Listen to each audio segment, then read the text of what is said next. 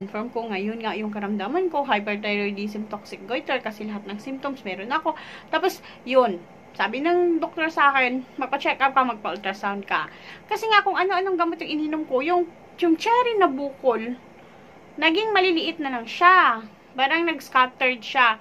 Hanggang sa, sabi ng doktor, oy, kung gusto mo pang mabuhay, umuwi ka ng Pilipinas, doon ka magpagamot. Hey guys! What's up? Welcome back to my YouTube channel! And for today's vlog, sharing is caring dahil isi-share ko sa inyo yung isang product kung saan ako'y napabilib at uh, natanggal yung toxic goiter ko. Yes! So, ang product nito ay walang iba kundi ang MX3! Yan guys, ito yung ating MX3T. Yan, yun ito yung mga MX3 products natin. So, ito siya. Ito yung MX3T, wala siyang free na coffee. Ito, itong capsule na to merong free. Itong isang capsule na to, may free siya. Ayan. Then, meron din akong isang capsule. Yung ordinary, yung plain lang na MX3. Sana ba yun? Coffee yan. Ito, ito, ito, ito. So, ayan. Isang another capsule. May free siya na coffee. Kaya in total, yung free ko na coffee ay tatlo. So, tatlo yung libreng kape. Tapos, pumili ako ng isang extra coffee para magiging apat siya. Ayan siya, guys. Kasi yan, ready na tayo. Andito tayo ngayon sa aking computer. Habang hinihintay natin ang ating tea kasi magti-tea tayo habang nagkukwentuhan. So, anyway, um, balik tayo doon. Bakit bakit uh, napabilib ako ng MX3 product. Kasi nung 2010, 11, uh, ganyan, ganyang, ano, ganyang mga taon, graveyard uh, shift ako. Graveyard yung trabaho ko, nasa panggabi ako, tapos, nag-end up ako na hindi makatulog. So, akala ko normal lang yun. Kasi nga, di ba nag-change tayo from day shift to night shift. Akala ko normal lang yun. So, parang 4 days ako hindi nakatulog nun. Straight yun ha. Yun pala, um, nagsisimula na yung ating hyperthyroid nun. Hanggang sa, uh, nagpa-check up tayo, meron daw akong allergic rhinitis. Yes, totoo naman, meron tayong allergic rhinitis, meron tayong asthma, tapos masakit kasi din yung dibdib ko. Parang pag huminga ako ganyan, um, parang ma, ma, parang feeling ko mamamatay na ako, parang ganun. So, nagpapa-check up ako, tapos yun, hang, yung sabi nila, yung mata ko daw, may, may ganyan, tapos may allergic rhinitis, yun, paulit-ulit, paulit. Hanggang sa fast forward, pumunta na tayo sa Abu Dhabi. Nag-abroad tayo eh. Ngayon, nung nandun ako sa Abu Dhabi, ah, uh, masyadong stressful yung work. Ayun, mainit. Tapos, ayaw ko nang lumabas dahil gusto ko lang laging malamig. Tapos, ayaw kong, ayaw ko nang mainit. Kapag ka naiinitan ako, nauubo ako, kasi nga asthmatic tayo, ganyan, ayaw ko lang nang mainit. Hanggang sa, uh, yung karamdaman ko, naging malala, kapag ka kumakain ako, nabubulunan na ako. Kasi nga, yung ano pala, nagkaroon na ako ng hyperthyroidism, toxic goiter. So, yun yung ano, yun yung karamdaman ko. Tapos, dahil nabubulunan ako lagi, ang ang naga, ang nangyayari sa akin, kapag ka kumakain ako, or umiinom ako ng tubig, konting ano lang, konting parang konting mali lang sa lalamunan ko. Susuka na ako, uubuhin na ako, hanggang sa pag mag-end up tayo sa pagsusuka, lahat ng kinain ko, ila kailangan ko siyang ilabas. Hanggang sa, syempre, walang makakatulong sa atin, nagpa-check up ako sa doktor. So, kasi nga, yung, yung ano ko, yung issue, nabubulunan ako kala, palagi, syempre, pumunta ko sa endocrinologist, parang ganun. Tayo sa isang situation na hindi rin ako makalakad. Kasi nga, punta, nag, one time, may concert si Vina Morales at saka si Gary V doon, nanood tayo hanggang sa tumayo ako ng 4 hours straight. Pagdating ko ng bahay, hindi na ako makalakad. Hindi na ako makatayo, nangihina na yung mga paa ko. So, yung bono, yung, yung problema ko sa liig ko, at saka yung problema ko sa paa ko, mas inuna ko pa yung, mas inuna ko pa inireklamo sa doktor yung paa ko. So, sabi ng doktor, meron daw akong arthritis. Kaya, binigyan na ako ng, ano, ng gamot ng arthritis. Hanggang sa ininom ko yun. Pero, syempre, dahil wala tayong rayuma, wala tayong arthritis, hindi tayo gumaling. Ganun pa rin yung, yung ano ko, yung paa ko, nangihina pa rin. Hanggang sa, napilitan akong mag-change ng doktor. Binisita ko yung, kara yung malapit lang na clinic sa office namin dati.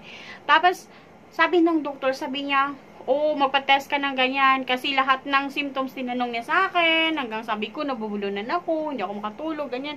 So, nagduda na siya na meron akong hyperthyroidism. Tapos, noon, that time, ah, uh, hindi ako, hindi ako payat. Kasi nga, ang dami ko ng gamot na ininom, hindi ako payat dati. Matabang, mataba ako dahil nga sa katabaan ko, syempre, pag mataba ka, hypothyroidism yung magiging sakit mo. Parang ganon. Pag payat ka, hyperthyroidism. Tapos yung mata ko, umiiba na yung shape. Kaya sabi ng doktor, oh, may hyperthyroidism ka. Pero yung problema, uh, may bukol daw yung dito ko. Hyperthyroidism toxic goiter na nga. May yung bukol ko daw dito, parang cherry na daw siya kalaki. Tapos, ayun nga, hindi pa rin, hindi ako naniwala sa kanya. Kasi nga, bakit naman ako magkakaroon ng toxic goiter? Bakit, bakit ako magkakagoiter? Eh, sabi nila, yung goiter daw naman naman na daw yun. So, hindi ko naman uh, alam na yung toxic goiter pala nasa loob.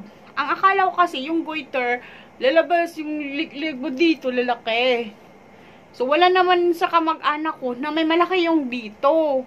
Kaya sabi ko, imposible.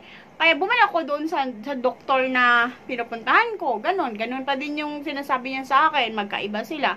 Hanggang sa nag-research ako, sabi ko, oh, baka nga mag, ano, baka nga mag, baka nga tama itong si doktor.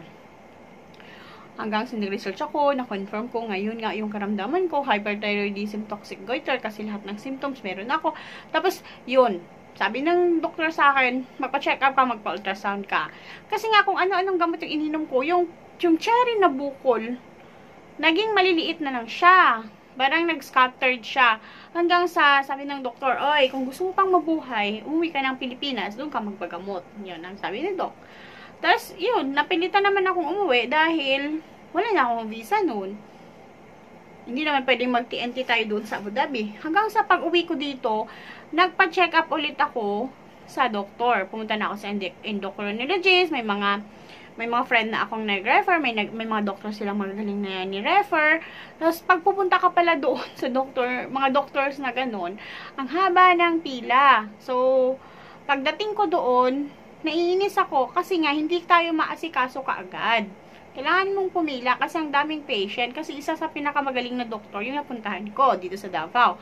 Hanggang sa, pinain, binigyan niya ako ng reseta, yung gamot ko ay top din. Tapos, mga 2 months, kung, mga 2 months, 1 month or 2 months, nakalimutan ko. Basta, bigla na lang bumaba ulit yung, yung hormones, ay, yung Basta bigla na lang siya bumaba. From hyperthyroidism, naging hypothyroidism. Nangihina na naman ako. Kasi, kapag ka-hypothyroid ka, uh, makakaramdam ka ng panghihina. Pag hyperthyroid ka, parang lakas-lakas mo. Parang ganun siya. Malakas-lakas mo, pero ang hina ng katawan mo. So, nainis na ako. Hindi na ako nag, ano, hindi na ako bumalik doon sa doktor. Dahil, alam niyo kung bakit? Meron akong isang friend na the same din yung kanyang karamdaman. Sabi niya sa akin, Jean, mag-MX3 ka. So, ang ginawa ko, pagkarinig ko noon, parang ting, ting, ting, parang ganun yung sa utak ko. Bumili ako ng MX3 na coffee. Kasi nga, nag-online job tayo. Tapos, bumili ako ng plain na capsule. Ano ba yun? Kailangan talaga may. Bumili ako ng plain ng ganito. Ayan. Yun yung ininom ko.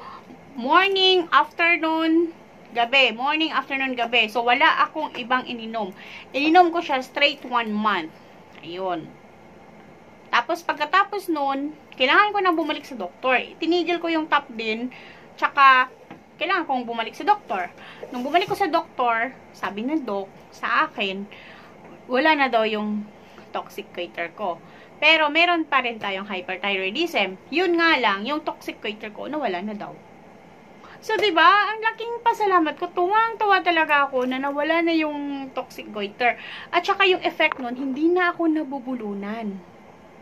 So, yun yung maganda. Dahil hindi na tayo nabubulunan, hanggang sa, ganun, si MX3 na lang lagi yung iniinom ko. Tapos, sinishare ko ito sa mga friends ko din, na yung iba naniniwala, yung iba naman, ayaw na maniwala. Pero ako, naniniwala talaga ako sa product na to. Ano ba kung bakit? Kasi, meron pa rin akong hyperthyroid hanggang ngayon. Kasi sabi nung isang, ano, sabi nung, nung OB ko, sabi niya, yung hyperthyroid daw, para daw siyang diabetes na nandyan lang sa katawan mo, paulit-ulit, pabalik-balik. Kasi hindi nanonormalize yung hormones ko. Meron tayong hormonal imbalance dahil nga sa activities ng life ko, sa, sa type of work na meron ako, sa kinakain ko. So, pabalik-balik lang siya. Pero thanks God, wala na talaga yung mabubulunan ka. Wala na talaga. Hindi ko na talaga siya na-feel. Tapos, yun. Pero dahil hormonal imbalance tayo, hindi pa rin tayo nag ano, nagme-menstruation. So ito naman yung masaklap. Kasi syempre hindi naman siya mura lang. Ang ito ay nasa 16 pesos. Tapos yung ito, ito yung may L-carnitine. Ayan, MX3 Plus, tag 21 pesos. Hindi ko kakayanin. Hindi kaya ng bulsa ko. So, minsan, hindi ako umiinom. Tapos, ayun, hindi tayo umiinom kasi nga wala tayong ganito, wala tayong pambili. So, ang ginawa ko, tumitigil ako. Tapos, tinitigil ko, wala. Yung menstruation ko, irregular pa din. So, just like 4 uh, months ago, tumigil ako sa pag-iinom nung May. Kasi nga, wala tayong pambili. So, ang ginawa ko, dahil hindi na naman ako dinugo, nag-inom lang ako. Inom lang ako ng isang pad. So, nung naubos ko yung isang pad, ayun na, yung menstruation ko, lumabas, tapos, ayan, meron siyang cramps, nadidysmenorrhea tayo, pero saglit lang. Pero, parang na-normalize siya. So, I'm not saying na, ano, I'm not saying na perfect, perfect yung product na to. Kasi nga, uh, hindi naman niya, hindi naman nila kiniklaim na nakakagaling siya. Pero, dahil gumaling ako, nagpapasalamat ako. Pero, alam nyo ba kung ano yung na-discover ko sa MX3? Hindi lang kasi siya basta product. Ang pinaka na-inspired ako sa kanila ay, ang company lang na ito, ay, isa lang siya sa ano, siya yung company na kada gawa nila ng product, prayerful sila. So, ayun. Ayun siya guys. So, si MX3, ah, uh, habang ginagawa nilang product nito, nagpe-pray sila na tayo ay kagaling din. Kaya yun talaga yung isa sa pinaka the best sa MXP product dahil sa kanilang prayers. Ako nga nag ano na, sumasali ako sa kanilang uh, community sa ministry nila doon sa Ladislawa. Uh, sumasali ako. Tapos yun talaga yung gustong gusto ko.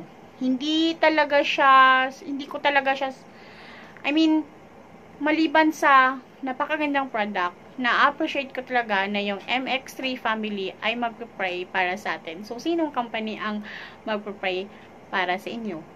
Ang MXA lang ang gumagawa noon na may prayers yung food supplement na iniinom natin. So, yun lang siya guys. Hindi talaga ako nagsisinungaling dahil ako ay product user din ng MX3. So, pag kilala nyo ako, ang dami ng mga tablets. Tsaka, hindi lang ako yung gumagamit nito. My friend, Mylene, gumagamit din siya. Yung mga iba ko pang mga ano, mga auntie ko gagamit din sila. Pero yun nga lang, may kamahalan konti so, yung MX3. So, hindi mo siya ma-afford basta-basta. Pero available naman siya pa konti-konti lang. So, kasi nga mahal siya. At hindi naman siya pwedeng I mean, hindi ka naman makabili kung hindi wala kang 21 pesos, tapos hindi naman pwede na hindi ka araw-araw uminom. So, ang ginagawa ko, bumibili talaga ako, nagtitipid talaga ako para makabili nito. Kasi nga, uh, mas mainam na yung healthy ka kaysa lagi kang may sakit, lagi masakit yung ulo mo, lagi kang aburido. So, kasi laging mainitin yung ulo natin. So, yun lang yung maganda doon sa MXT. Kaya guys, kayo din, sinishare ko ang product nito para din sa inyo. Oh, yun lang. Yun lang siya, guys. Sharing is caring. So, lagi ko itong pinopost sa Facebook dahil talagang love na love ko ang product nito. Tapos, yun. Ang bait-bait pa ng mga staff nito. Oh, siya nga pala. Paano ako nag-order? Pumunta lang ako sa mx3.ph. Nag-place ako ng order doon. Kayo din. Puntahan nyo din. Tapos, kung within Davao kayo, ang Palengke Boy ang kanilang official partner. Teka lang, papakita ko sa inyo yung resibo ko. Ba yung resibo ko? Ayan siya. In-order ko siya kagabi. Ayan, this is from Palengke Boy. Ah, in-order ko siya kagabi.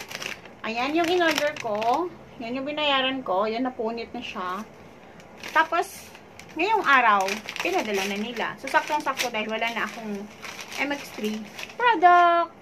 So, thank you so much, MX3. Thank you very much, Palinky Boy. So, see you next time. If you like this video, please, please subscribe to my channel. Pakihit na rin yung bell para ma-notify ka sa next upload ko. Thank you, guys. Bye. Stay healthy po. Mwah.